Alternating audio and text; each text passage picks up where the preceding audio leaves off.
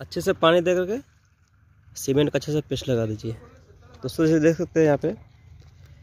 अगर कॉलम का डिसटरिंग होने के बाद हनीकॉम दिखे तो जैसे जैसे सीमेंट का पेस्ट लगा कर इसको कवर कर लेना चाहिए। जितना जल्दी हो सके, उतना जल्दी। यहाँ पे बहुत सारा कॉलम कास्टिंग हुआ है। अभी और से बाकी है। ठीक है दोस्तों? यहाँ पर सीमेंट का पेस्ट बना हुआ है। ये यूज़ करना चाहिए। बालू के साथ नहीं करना चाहिए। देख सकते यहाँ बालू वाला दिख रहा है पूरा एकदम क्लियर Thank you.